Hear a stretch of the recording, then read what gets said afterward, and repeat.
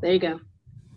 Okay, tonight we're going to talk about the Hyndluljoth and that's an interesting, interesting lay. And I want to point out something too, because there, it's it's included in the Poetic Edda, the Bellows translation, the poem Hyndluljoth, but it it is um, it is not in the great manuscripts of the Poetic Edda, but it is included in the Book of the Flat Island, the Flateyjarbok.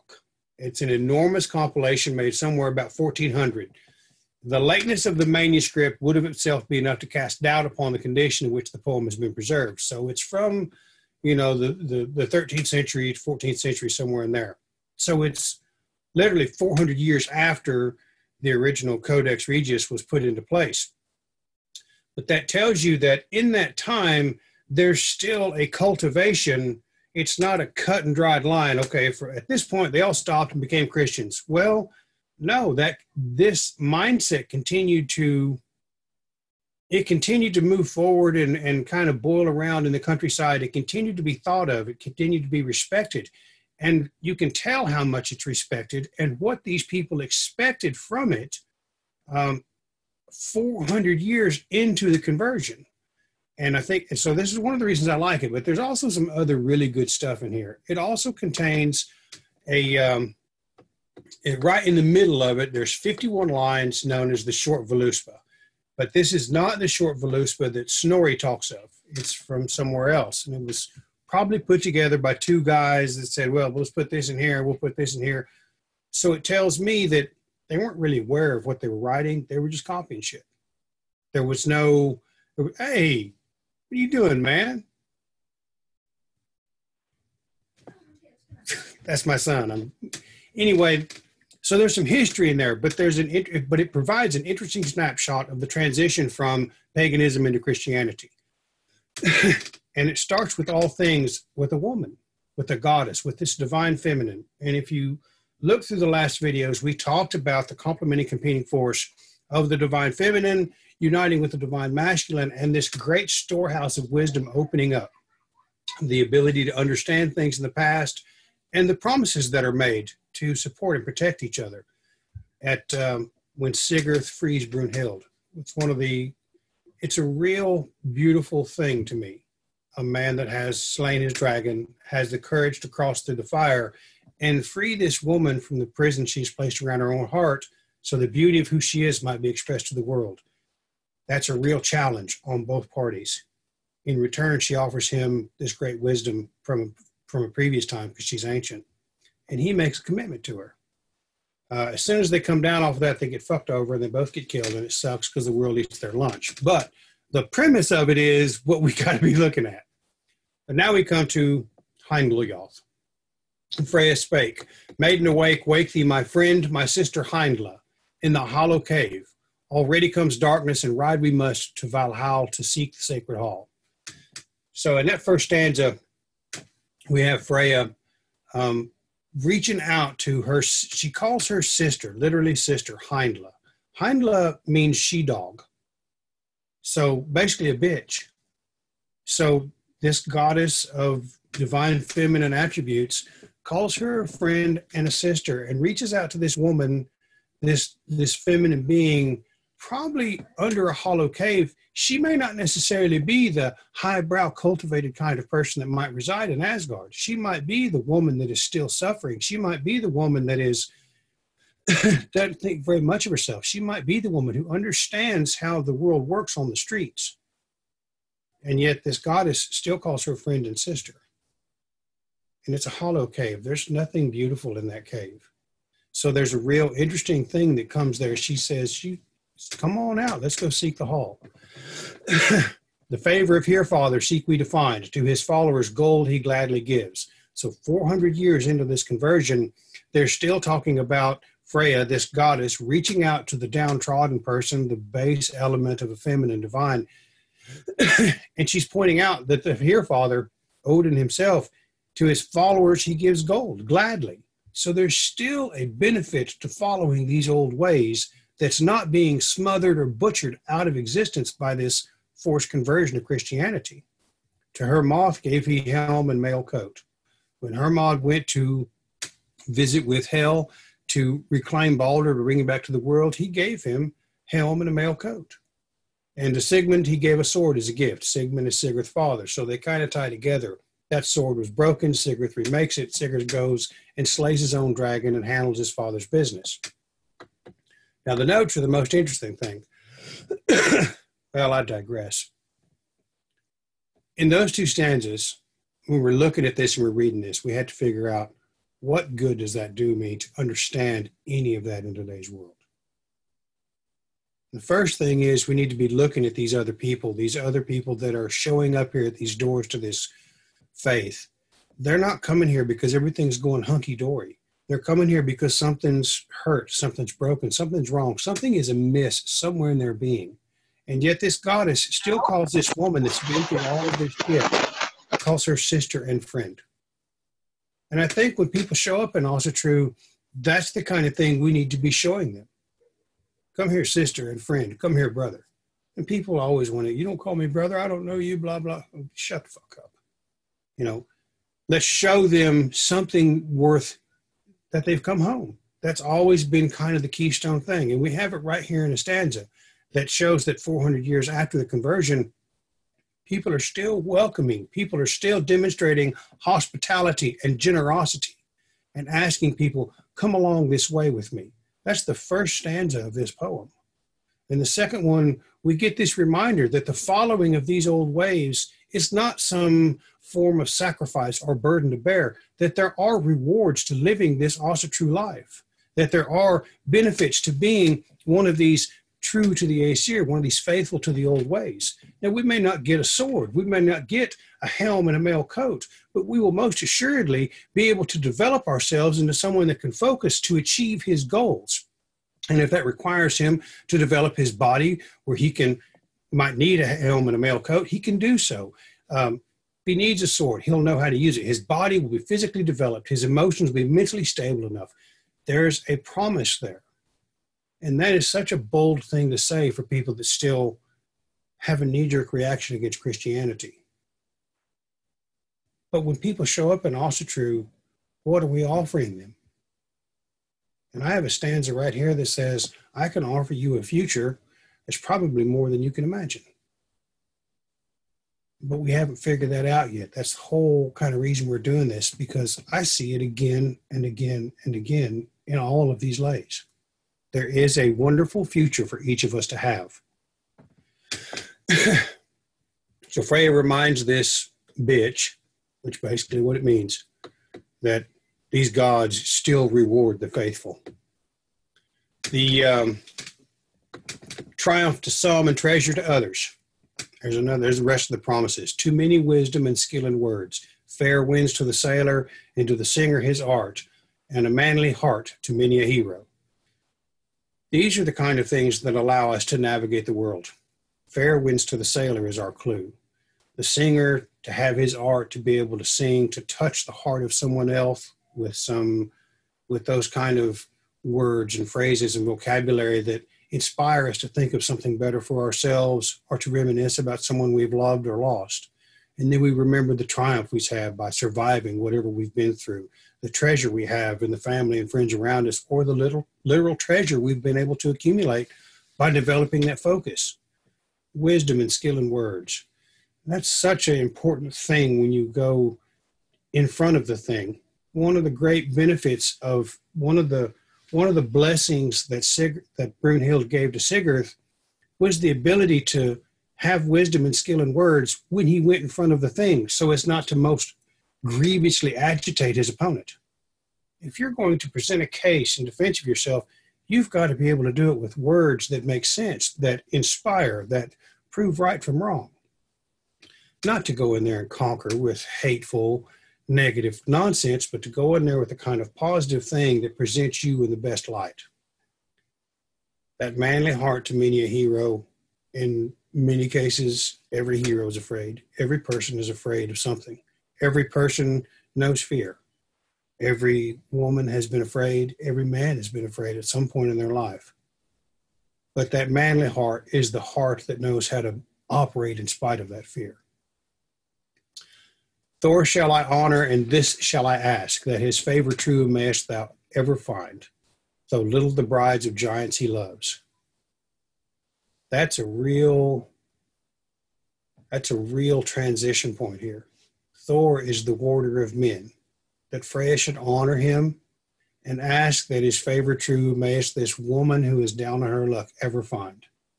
He may not like the brides of giants, but I'll entreat on your behalf that you may ever find his favor. What a wonderful thing to ask for someone that you hardly know, that's suffering, that's in a bad place, that you might ask the warder of men, this great defender of this realm, that you might ever find his favor.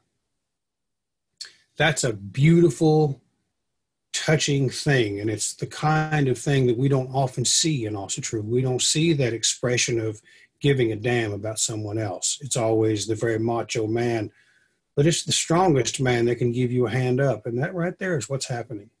Here's the strongest of gods offering you a hand up. From the stall now one of thy wolves lead forth, and along with my boar shalt thou let him run. So bring on one of your wolves. Here's my boar. Let's let him run. For slow my boar goes on the road of the gods and I would not weary my worthy steed. So this boar that she got dragging his ass, right? He's a fallout. So everybody's marching along towards that one door that all roads lead to Rome. All roads lead to the afterlife. We're all going to walk through that doorway. We're all going to face the sun facing goddess. And some people are dragging their feet. Some people are have pictured obstacles in their minds uh, trouble after trouble, things of their own creation, difficulties that they focus on. They become great knots in the circulation in the tree of life. Freya has a solution for that. she says, Bring one of your wolves out here. I'm going to give you forever. I'm going to bring you up, but let's play with the wolves. My boar's not moving fast. She cuts a wolf loose on his ass. That boar's going to pick up the pace when the wolf gets on his heels, isn't he? He's going to start moving forward. And that's kind of the way it is with a lot of us when we come in here. Something brought us here. Uh, something, some people just had the presence of mind to realize there's got to be something better. But even at that, once we get in here and we find ourselves somewhat kind of comfortable, are we living up to our full potential? Are we living up to what we can do? I thought about it today. I'm doing a lot of things right now. I have to ask myself, are these things moving me towards the goals that I want to achieve? Are these, I heard Denzel Washington say it this morning. He said, You could spend a lot of time running in place and not go anywhere. Freya's solution is, is that challenge behind you is probably going to be much more difficult to contend with than what you're dragging your ass because you don't want to face it yet. She's not going to weary her worthy steed. Freya is going to move forward on her steed as she so chooses. She is a goddess. She's not going to spend all her time pushing and prodding and poking. She's going to throw something in there that's going to make you move forward. And that's exactly what happens here. But Hyndla, being that she is, for lack of a better term, someone from the streets, uh, she sees through it and uh, she calls her on it. Hyndla spake, Falsely thou askest Freya to go, for so in the glance of thine eyes I see on the way of the slain thy lover goes with thee, Ottar the young, the son of Instein. the small minded individual will only ever see what they would be doing in those situations. The small minded individual who is wrapped up in their own ego so badly that it has brought them to living under a rock will only ever see the best scenario they might make happen. They're always working a hustle. You know how hard it is to get someone who's strung out on drugs that's been living a life working a hustle or in some kind of pain to stop and say, well, maybe there is some good in the world. Hyndla can't see that. So she immediately accuses this goddess that's offered her a helping hand with an accusation. The uh, Freya spake, Wild dreams, methinks, are thine when thou sayest, My lover is with me on the way of the slain. There shines the boar with bristles of gold. Hildisvini, he who has made by Dain and Nabbi, the cunning dwarfs. So she points out, That's my steed over there. This isn't uh, this isn't my lover. Now let us down from our saddles leap and talk of the race of the heroes twain, the god, the men who were born of the gods above. So this lady knows a lot. So she's cut a wolf loose on his ass, on Ottar. To get him to keep get moving forward in life, to get focused on moving forward and becoming something. Now she gets the simplest of beings to come out and kind of talk about some of this stuff. So it's a real stunning it's a stunning realization when you're moving through life and you think everything's going well and all of a sudden there's a challenge behind you that you weren't weren't aware of and then all of a sudden this stupid old person over here that's been sitting in a rocking chair for 30 years kind of looks at you and giggles and you realize you're not quite doing as hot as you think you were. It's called eating humble pie. Well she's fixing to give him a big dose of humble pie because she got the dumbest meanest ugliest thing she could find to remind him look you're made of some good stuff. But a wager she has made in the foreign metal Ottar the Young and Angantyr we must guard for the hero young to have his father's wealth, the fruits of his race. Okay, the um, the foreign metal gold, the word valor meaning foreign, and is akin to Welsh, is interesting in this connection, and some editors interpret it frankly as Celtic. So right there we have this continued. Um, now we see the broadening of the horizons to not only this one little place, but now all of a sudden there's other regions involved. So in this great transition from paganism to Christianity, it was more than just one tribe dealing with this. So this belief system kind of was still very prevalent in more than one culture. The um, so she's made this bet between Ottar and Angantyr for a and his father's wealth and the fruits of his race. Now, if you remember the Rig when we get to the third generation, or that ninth generation, we have Kon the Younger learns the language of the birds. He learns the use of the runes. He teaches them to his father, Jan, uh, Kon, or uh, Jarl Rig. Heimdall steps from the forest and calls Jarl one of his own. Okay? Kon is kind of wandering around lost, still fucking with the birds, still shooting at birds, wasting time, wandering around like a prince. who doesn't have a care in the world. Till the birds remind him, say, Look here, buddy, you've got all of this knowledge. You need to go out and do something. Then he goes out and builds a kingdom for himself and he establishes the race of the Danes. That is Kon Rig's legacy, right? He becomes, is named Rig himself because he goes forth and establishes his own race. We have the same kind of situation going on here. We have a young man who's not really sure where he's supposed to be going, but he's got fooled around and got suckered into a bet with Angantyr. He's too young to have his father's wealth or the fruits of his race. And one of the things Rig tells Jarl in the Rig Thula is remember your heritage. The entirety of the Rig Thula is talking about their heritage, where you come from, this first generation, this second generation, this third generation, so on and so forth.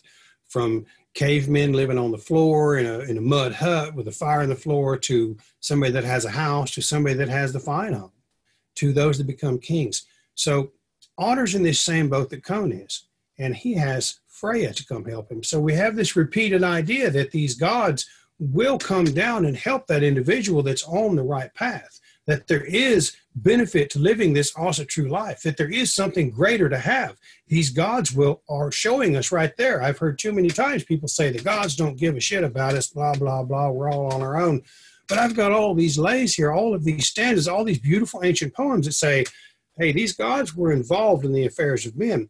Now, all of a sudden, here we are, 1600 years later, all of a sudden, these gods are once again involved in the affairs of men.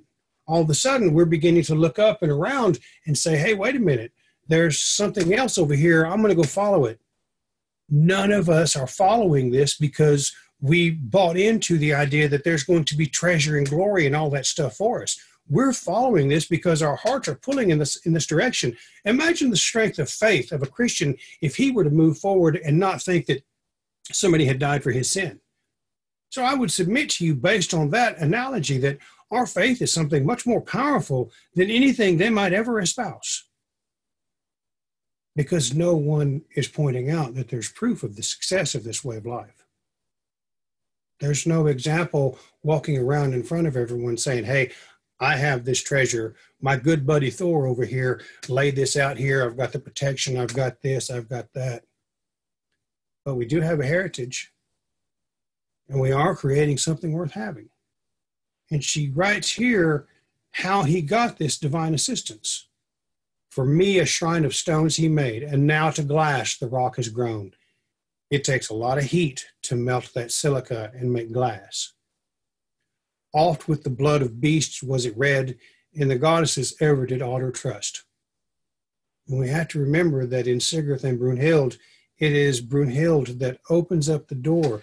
The lay of the victory bringer, the treasure seeker, achieves his greatest victory when he learns that ancient wisdom of the divine, when he learns the use of the runes. So here, that was a person to person kind of culmination of a relationship, the foundations of which were also laid out in the Rig. In this instant here, we're talking about man to divine. We're talking about how us regular individuals might interact with the divine and what we might expect from it, how we got it, with dedication. The faith of our ability to believe in these gods and goddesses was ever at the forefront of his mind because he always kept a fire burning be it literal or mentally, there is a fire burning that keeps them ever at the forefront of our mind. The nine noble virtues help us do that best. So far, that's what we've come up with. Off with the blood of beasts was it red, sacrifices were made. Ideas for us, maybe not so necessarily much animals, though I do know some people that have engaged in such. But for us, it needs to take more along the lines of Odin, sacrificing those parts of himself that made him unworthy to rule Asgard. That's where I always say a goddess cut him off that tree, and he learned he he heard the songs of his ancestors, where Ottar must learn the fruits of his race and his father's wealth, and he picked up the runes. For us, the blood of beasts ever to that altar stone must be red is that we've got to divest ourselves of those ideas, attitudes, things that we've been taught make us important, and get rid of them and allow us to become something more. To sacrifice those aspects of our ego that keep us from opening our eyes to see what we're really doing here. Because all of these lays are telling me we're doing something truly amazing here. Tell me now the ancient names and the races of all that were born of old.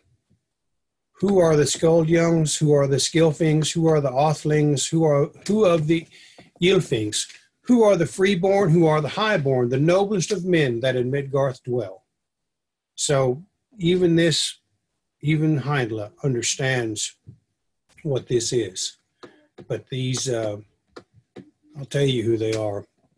The Skjoldung are the descendants of Skjold, a mythical king who was Odin's son and the ancestor of the Danish kings. That's from Snorri's Edda and the Skaldskaparmal. The Skilfings, mentioned by Snorri as defendants of King Skelfir, a mythical ruler in the east, in the Grimnismal, stanza 54. The Skilfing appears as one of Odin's many appellations. Othlings, Snorri derives the race from the Althi, the son of Halfdan the Old.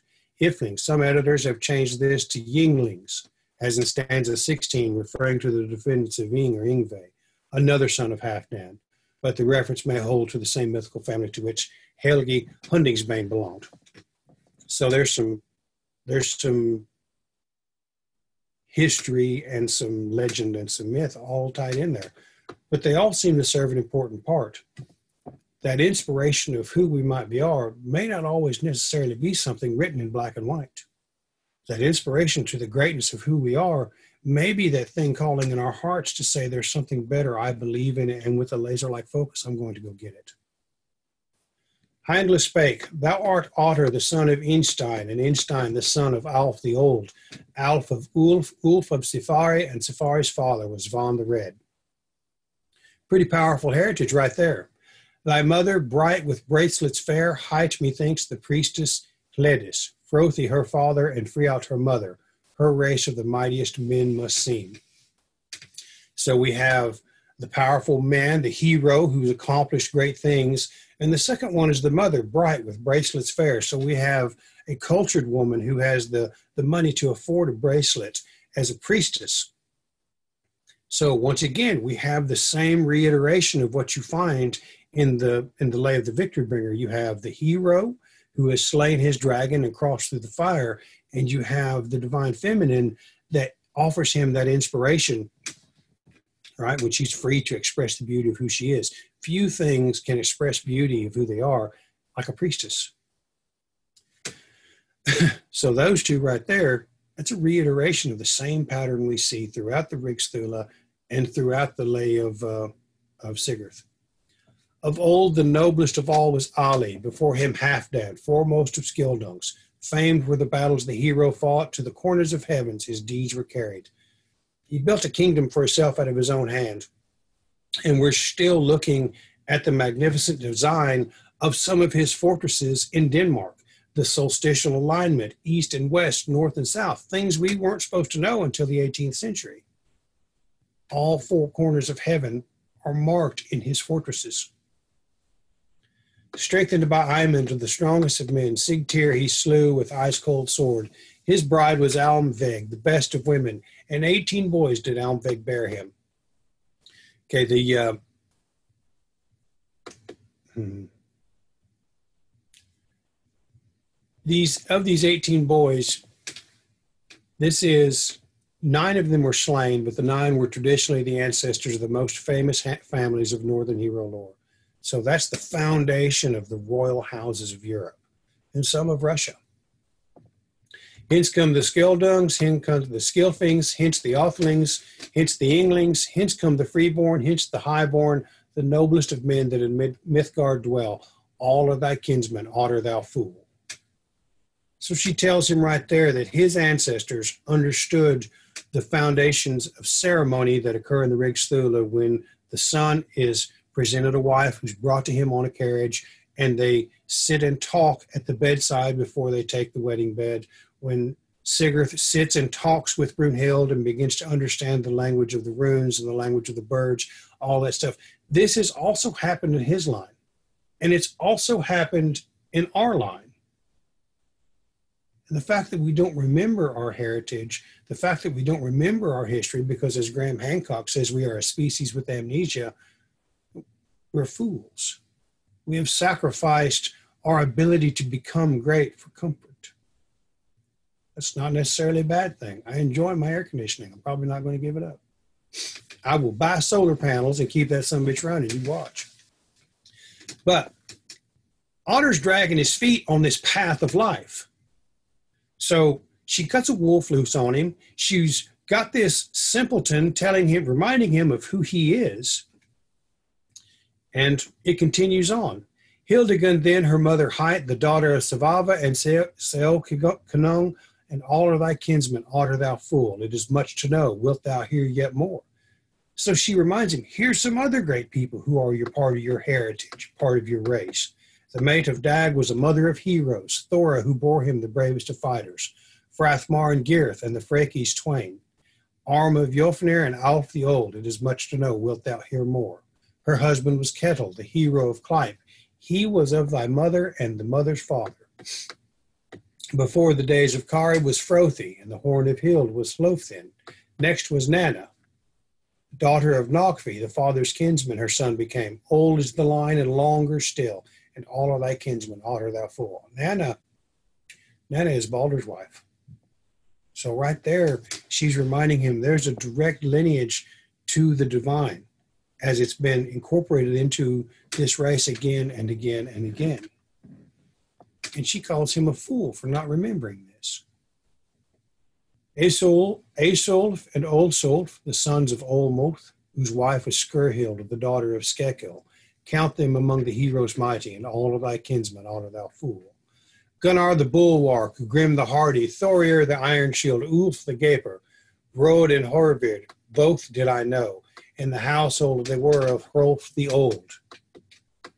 King Hrolf, Galtric son of Gautland, the saga relating to whom uh, appears, um, it's the Fornaldar saga, 3, page 57. Hervoth and Hjorvoth, Hrani and Angantyr, Bui and Brahmi, Barry and Refnir, Tind and Tirfing, the Haddings twain, and all of thy kinsmen, honor thou fool.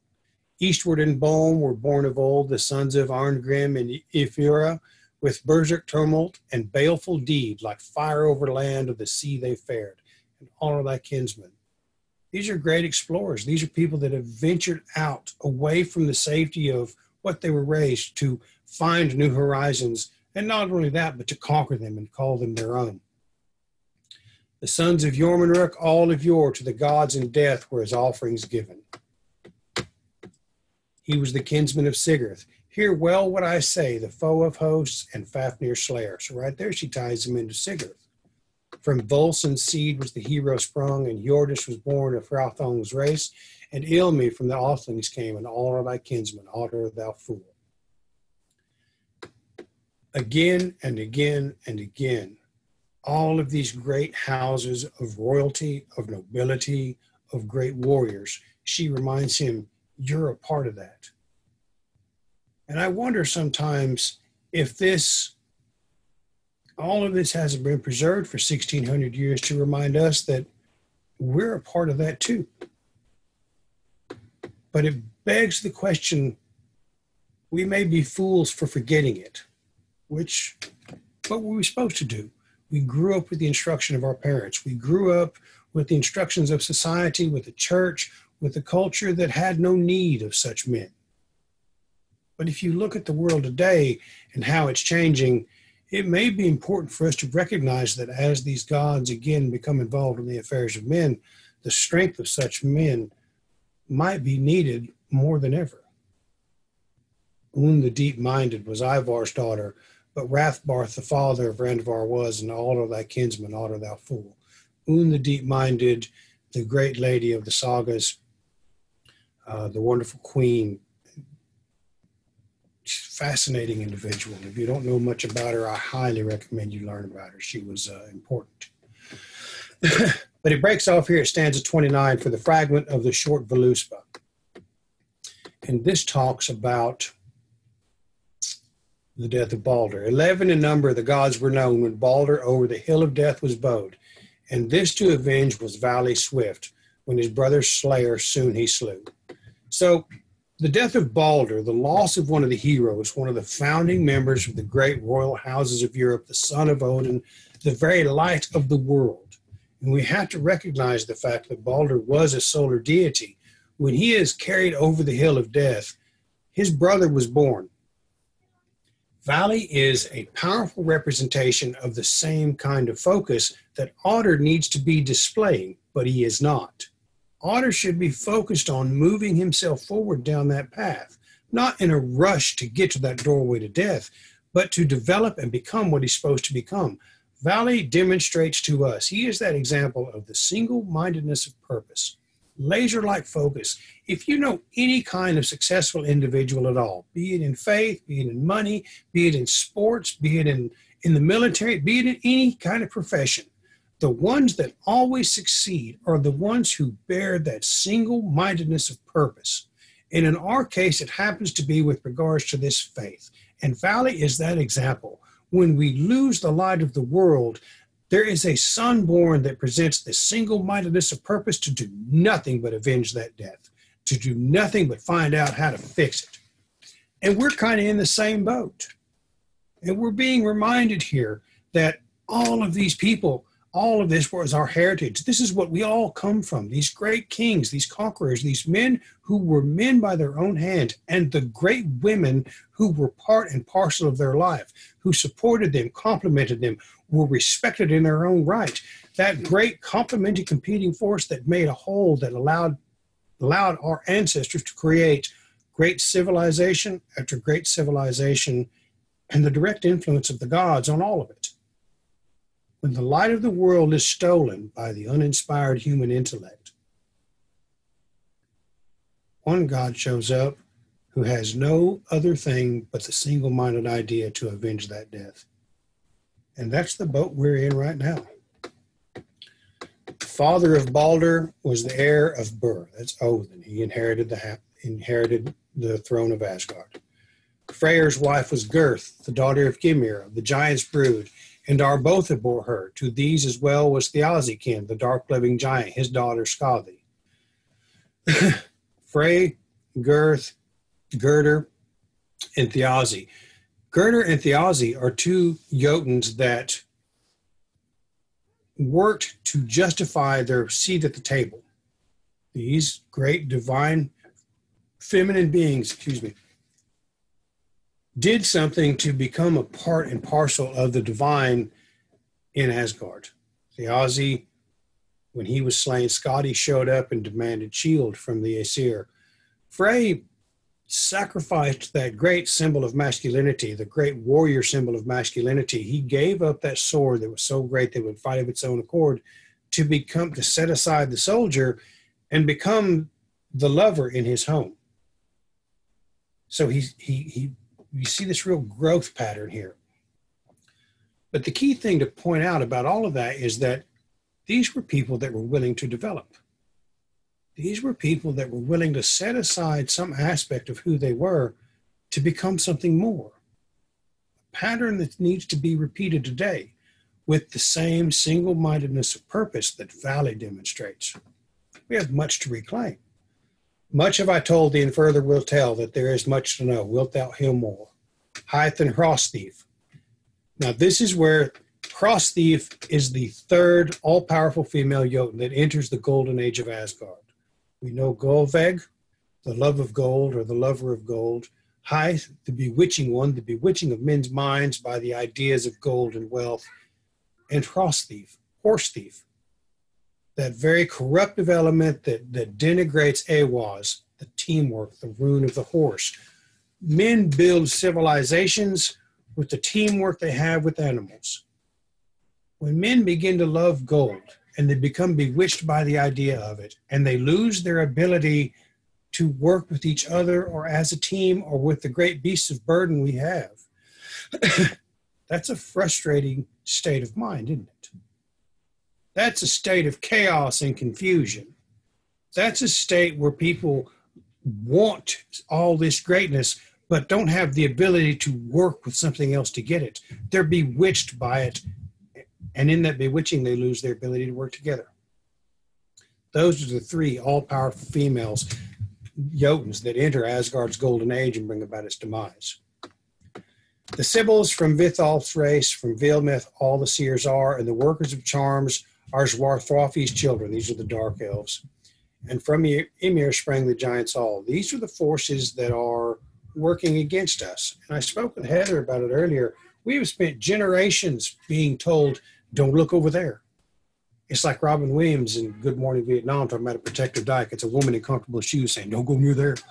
But that it's the same kind of thing with us. We've had a church saying, don't look in the woods. Don't look over here. There's a devil over here. There's a demon over here. There's something people go missing in these woods. What if all that's real? Now all of a sudden, we're completely defenseless against such things because we've believed that something else was going to take care of it for us. The courage of those men never failed. They believed that the gods were on their side, that the warder of men was there. They wore those iron crosses for a reason. Much have I told thee, and further will tell that there is much that I know. Wilt thou hear yet more? One there was born in the bygone days of the race of gods, and great was his might. Nine giant women at the world's edge once bore the man so mighty in arms. Gialp, there bore him Greip, there bore him Eistla and Ingr- Igriatha, Ulfrun bore him and Anganya, Im and Outla and Jarn Saxa. These are the mothers of Heimdall. And the mother's Heimdall's mother's names may be rendered be Yelper, Griper, Foamer, Sand Strewer, She Wolf, Sorrow Whelmer, Dusk, Fury, and the Iron Sword. Thor slays all of them. Thor ends up killing all of them as he. Uh, Gialp is the one that stands across the river and tries to flood Thor, and he has to crawl out. Uh, that's one of the mothers of Heimdall. that's a whole other story that Loki created this problem that Thor had to go settle and he had to kill all of those giants, giant women, to get to this giant that had caused so much problem. Strong was he made with the strength of earth, with ice cold sea and the blood of swine. All kinds of things can be said of that. The strength of earth and the ice cold sea and the blood of swine. The blood of swine is the sacrifice. That is the bloat That is the offering to the gods. That is the holy connection of the divine. That is the fluid, that is the logos upon which those divine energies flow. The ice cold sea and the strength of the earth, those are unmitigated, unparalleled, world changing power. They can eliminate men in an instant. And this God has power over all of it. One that was born the best of all, and strong he was made with the strength of the earth. The proudest is called the kinsman of men and of all the rulers throughout the world. This is Thor. Jord was his mother, the warder of men, the best of all of us. Much have I told thee, and further will tell. There is much that I know, wilt thou hear yet more. The wolf did Loki with Angrbotha wind, and Sleipnir bore he till Svathilfari. The worst of marvels seemed the one that sprang from the brother of Byleist then. So that's the that's the wolf Fenrir. Okay, the eight-legged horse. Um, but when you look at that, Loki had a wife, Sigyn. Her name literally means girlfriend. But he decides to go off into the woods and have this torrid affair because he thinks he can do it right. We see the same thing with people that come into the AFA of all things, or Asatru as a whole, and they take a look around and they get full of themselves because they got 100 people out of 7 billion that give a lot to what they're doing, and they decide to go off somewhere else and try it on their own. And right here we have this example of the uninspired human intellect going off in the woods, trying to create something good of his own, and the only thing he does is create monsters. The monsters that are responsible for the death of the world. A heart ate Loki in the embers it lay, and half cooked found he the woman's heart, with child from the woman Loki soon was, and thence among men came the monsters all. Now that half cooked heart has a lot to do with Sigurd but there's no there's no reference to it um, where it came from. But it is most likely um, the serpent. The sea storm driven seeks heaven itself. Over the earth it flows. The air grows sterile. Then follow the snows and the furious winds, for the gods are doomed and the end is death. Then comes another greater than all, though never I dare speak his name. Few there are now that farther can see that moment when Odin shall meet the wolf. So that's the short Voluspa. have all these gods that make sacrifice to become who they are. Heimdall is, is this wonderful, powerful, divine being that fathers mankind. Thor is this powerful being, both of whom are from the earth. Um, and they are the father of men and the warder of men. It's a real powerful, comforting thing there. But it's the uninspired in, human intellect that goes off into the woods and creates those ideas that destroy mankind. And even as dangerous as they are, there's something even more storm, more worse. The sea storm seeks heaven itself. Over the earth it flows, the great tidal waves. This is the sons of Mim on the march. Then the fall of the snows and the furious winds, the Fimbulvinter, um, the ice age. The gods are doomed and the end is near surely if you're living in an environment that changes, because when we talk about the younger dryas impact, the theory that I put forth that it's recorded in the Voluspa, you have to remember that the younger dryas impact was not just a once and done thing. That event happens twice a year for something like 10 or 20 years. Every spring and every fall, when we enter the Taurid meteor shower, huge chunks of meteorites would fall down and create some kind of devastation somewhere in the world. Ice Age moved forward, things got colder, 35 Genera vanished. It was a real terrible time. If these legends are indeed that old and talk about something much more ancient than we can understand, that written record of it, it might truly be a terrifying time. Now, man himself, in his uninspired human intellect, has the capability to do the same thing without any kind of divine intervention, without any kind of a sunspot or solar flare or earthquake or comet. If India and Pakistan set off a tactical nuke, two of them, it will change the weather around the world. We have diseases and plagues that wash across mankind. We've had two wars, political movements, and ideologies that killed north of 100 million people in the last century. Our uninspired human intellect has gone off in the woods and bred things that will destroy us with that before we even know it. Now the gods are again involved in the affairs of men, as now this is resurfaced to help us make it through that time. It's unavoidable. It will happen. Maybe not a nuclear bomb, but a comet will. A tidal wave will. Ask those people in Thailand. Freya spake, To my board now that bring the memory beer, so that all thy words that well thou hast spoken, the third morn hence he may hold in mind when the races Ottar and Angantyr tell. So there it is, repeated again, where this divine feminine offers a man who is on a journey, who's trying to do better, who's moving down this path of life, she offers him a memory draught so he might remember all of it. And that's an important thing to do. It is always the love of a woman that inspires men to do the greatest things. The works of art, the great wars, the just about anything. Those achievements to create that environment come from love. A reminder that there's something worth defending. And I didn't even realize that until I had a little girl. And then it's all bets are off, buddy. I'm going to tell you right now. but Freya gives this to them. This divine feminine once again gives him this memory beer. Hyndla spake, hence thou shalt hence shalt thou fare, for fain would I sleep. From me now thou gettest few favors good. My noble one out in the night thou leapest, as Heithrun goes, the goats among. So her wolf has run off. He's been distracted. He's going to go kill some goats. She's done wasting her time on these fools. She's wore out. She's going to get some wrath. To oath didst, didst thou run whoever thee loved. Now that's oath, oh, Oda, her, her original lover, the one that's wandered off and left her with two daughters whose names literally mean treasure, Freya.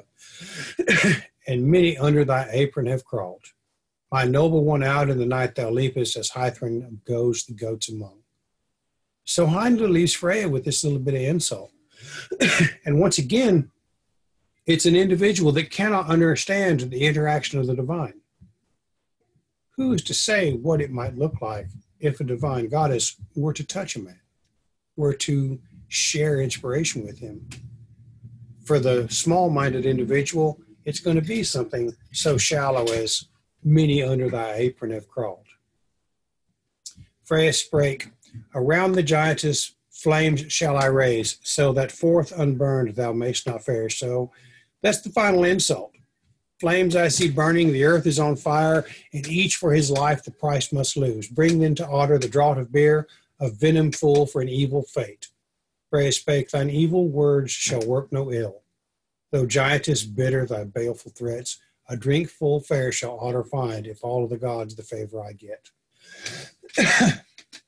so when it comes time to really deliver, Hyndla starts crawfishing. She's throwing a little insult. And Freya has to give her this gentle reminder look here, I will burn your ass, woman. You know, I don't know who you think you're fooling with, but you're not going to get out of here with that kind of nonsense. So she produces the drink. She gives Ottar the draught of beer. And once again, this divine protection shows up. These evil words are not going to have any effect on him. A drink full fair shall Ottar find. It is that drink of that divinely inspired liquid, that mead, that Laguz connection one more time, that f- the ability of divine energy to flow through the world resides squarely within the realm of the liquid. Everything that lives, moves, breathes, crawls, sleeps, talks, whatever, is composed largely of water the divine inspiration that falls upon our minds, which is an organ largely composed of water, is an impulse through fluid. And this divine, this draught of beer, this memory draught, there's a reason they call it a memory draught, so that we might remember. Anyway, that's my take on the uh, Hyndla And I hope you guys appreciated it. I know I enjoyed talking about it. It's one of my favorite poems. There's a lot in that. And when I sit down to write it, I'm trying to write, as I do these, I'm trying to write them in a book. And uh, you'd be surprised how much typing there is when you try to type somebody that's been talk, running his mouth for an hour. Hmm. but at any rate, I appreciate your time tonight, guys. Thank you all. And uh, I hope you guys have an awesome day tomorrow. Thanks, Brian. Thanks, Brian. Thanks, guys. Y'all have a good time. We'll see you.